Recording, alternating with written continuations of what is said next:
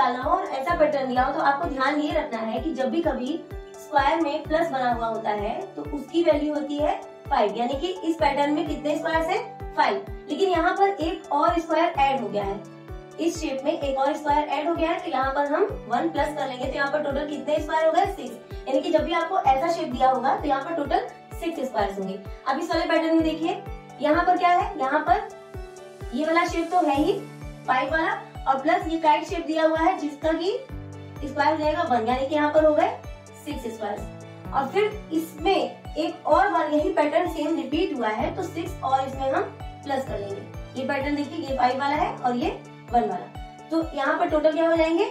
Twelve square अब इस वाले पैटर्न में कितने स्क्वायर है, ये आपको कमेंट करके मुझे बताना है। वीडियो आपको कैसी लगी? पसंद आई हो तो लाइक सब्सक्राइब और शेयर